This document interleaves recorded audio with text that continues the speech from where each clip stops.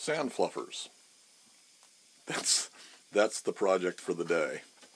Seems as though this has become more of a daily vlog than it has just a one I want to put out a video for you guys because I got nothing else.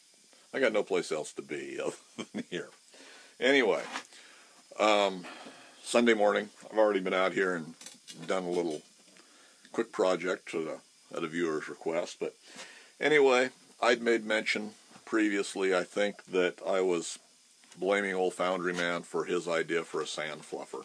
And I've got my, I've been casting parts for the um, sand muller that I'm going to build, the Steve, Steve Chastain style sand muller. So every time I've been casting, usually I've tried to throw in one of the patterns, one of the smaller patterns that I've already got um, got the pattern for and need multiples of. I cast a, a, a gearbox cap the other day when I was casting. So that pile keeps kind of growing. But in the meantime, I think we are going to go ahead and build a sand fluffer.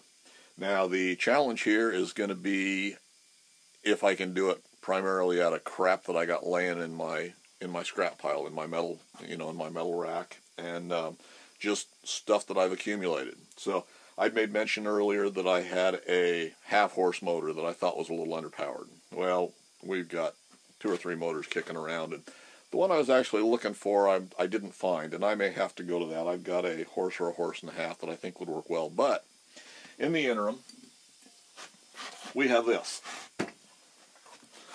And what this is, is a horse and a half. I believe this came off of a Grizzly belt sander, one of the big stationary open-ended sanders. So it's a horse and a half, good motor. A friend of mine gave it to me when he scrapped out his Grizzly. gearbox went bad, and rather than letting me play with it, why well, he scrapped it out. But I did manage to get the motor out of it. The downside to this motor is it is a 3460 RPM. And to me, that's an awful lot of mass spinning out there. But by the same token, I don't use 3460 motors hardly at all. Don't have a any other real need for this motor, so I think we're going to hook it up and see if it works. And if it throws pieces all over the place from spinning so fast, we may have to do something else. We may have to to gear it down. We may have to I don't know what we may have to do. On the other hand, it may work really really well. You know, throw a little bit of throwing a cup full of sand into something that's spinning at 3400 RPM should fluff it pretty well. So anyway, good good motor. I see no problem with it. It's got a bracket on it that that mounted that will actually make a really good mounting bracket. So I'm going to build this basically after Old Foundry Man's design. Now the motor, like I say, at some point I may have to change the gearing on it. May have to, you know, add a add a belt reduction to it. Um, may have to change it out. It may not be appropriate at all, but with the mounting on it, why we'll build it as a plate on top, and if we have to swap out another motor, we'll either put out a, put a end mount motor on there, or we'll we'll modify the design. So not a not a uh, issue from that standpoint. Now I think I'm going to run bearings on the shaft rather than bushings. There again, go into my scrap pile. I've got a couple of 5 8 bore bearings there, or I've got uh, a couple of brand new roller bearings. So not sure which ones I'm going to use yet. I'll figure that out as we go along. As you've seen me, I kind of engineer on the fly sometimes, and sometimes it works, sometimes it doesn't. use this for hub.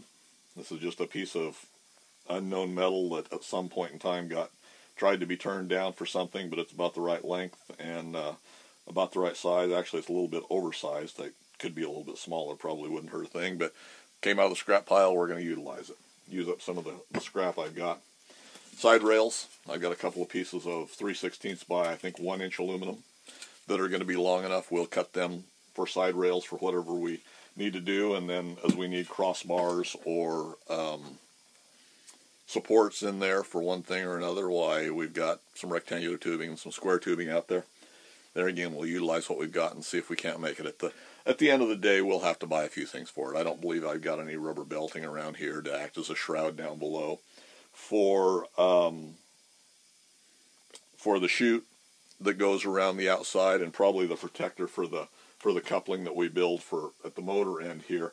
I've got some PVC, about six and a quarter inch ID, and I've got more pieces than this. I've got pretty much a full length of this. Fairly heavy wall, about looks like about quarter inch wall on it. We're going to use this for housing on the outside. And then to feed it in, we're going to notch it and take another longer piece.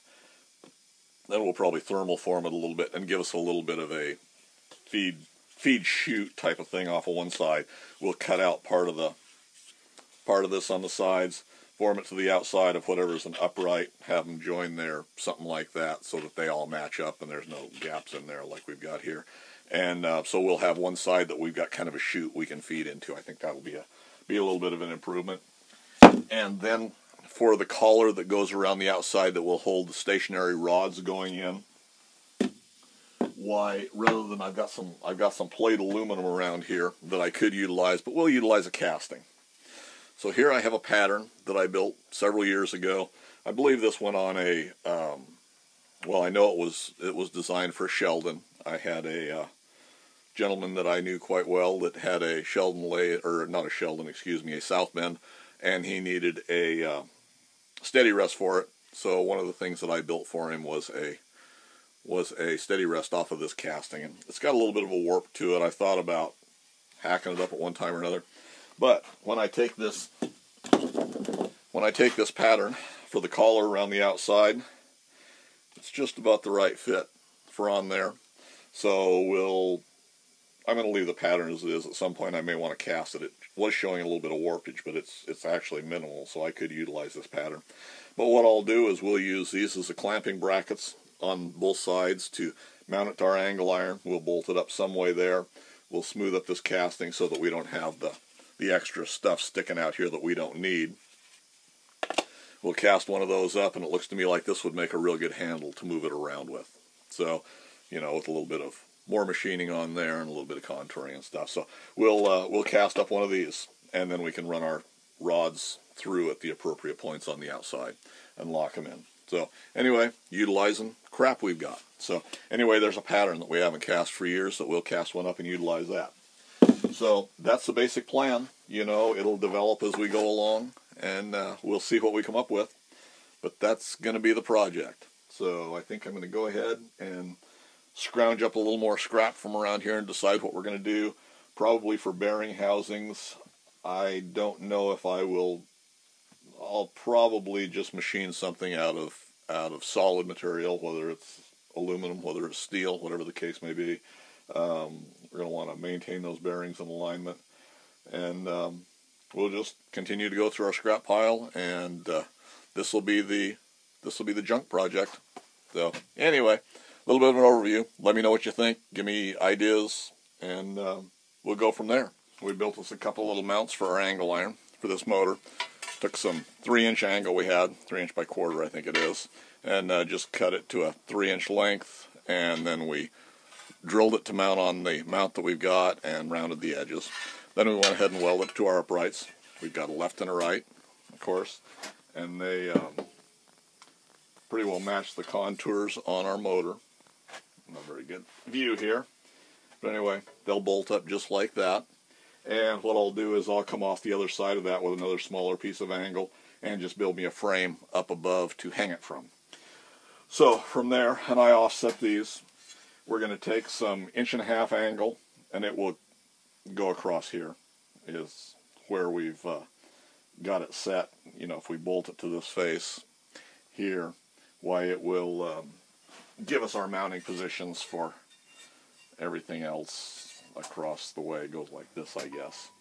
And then that brings the center of the angle that brings the center of the angle onto our center line here. And we'll probably have to open those bolt holes up a little bit to um, adjust alignment between our bearings and our um, our little spinning mass of bolts there to align with our shaft on our motor. But anyway, bolt up right there. Angle iron goes across here, puts us in alignment, and we'll uh, cut it to whatever length we need when we get that far. So that's about all the progress we're going to see on metalworking today, just because it's oh, almost lunchtime and I'm going to goof off the rest of the day, I think. I do have a couple of pieces of PVC pipe that I've uh, I've got the one that I had out here before. It's going to be the main upright. It's in my little Cerakote oven heating up now so I can form it. I'm going to flare the top of that just a little bit um, with this piece. And this piece is what we're going to run out on the front. I've gone ahead and split it. And uh, I just ran it to the table saw, cut it about straight, and uh, we're going to heat it up in the Cerakote oven after we get the other one out and formed, and then we'll start forming it to the outside. So that's where we're at. All right, I've got PVC coming back out of the uh, oven over here, so hopefully you can get some sort of a view, although I'm going to be more concerned with just getting it formed.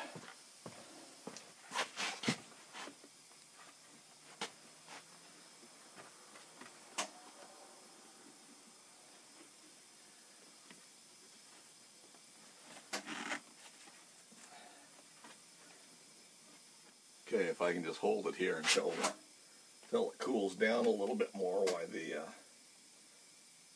sheet will be pretty well formed on it. Hopefully not too far out of shape.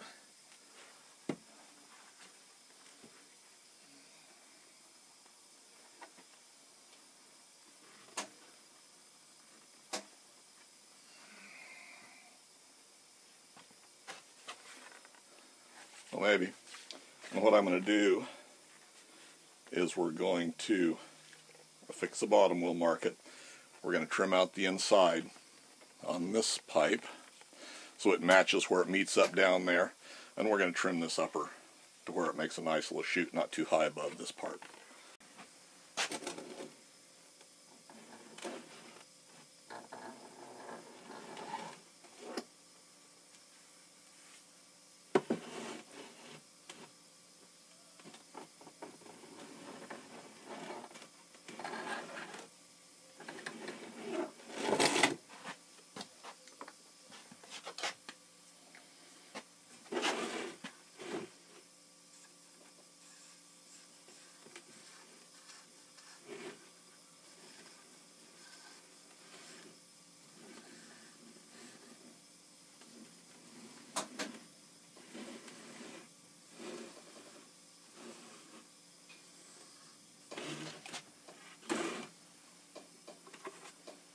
Okay, we just marked top and bottom. We're above our scribe line there. I'm just going to trim it off there in the bandsaw and uh, get it a little bit closer than what it is. We're going to slowly work it down until we get it to uh, what we think is the right contour.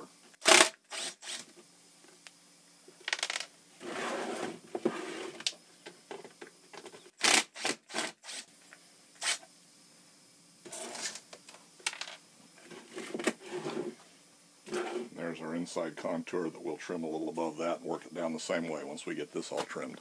Alright, well I'm about to quit for the day. Here's my hopper. Still got to be contoured down in through the bottom and matched up. And then we'll have to affix it. I'll probably run some bolts from the inside where I've got screws right now. Still got to be smoothed out a little bit. I'll have to blend the, the ramp down in the bottom. But anyway, this will sit out in front, so we'll at least have a little bit bigger area to feed sand into it. I, uh, I may go back and heat it a little bit and try and spread it. I'd like it to be a little wider and maybe in closer, but um, for what we're doing with it, why, I think it'll work fine. We'll try her out and see. So hopefully you found something at least mildly interesting there, and uh, if you did, stay tuned. We'll come up with something else tomorrow, probably. Anyway, thanks for taking the time to watch. You guys stay safe.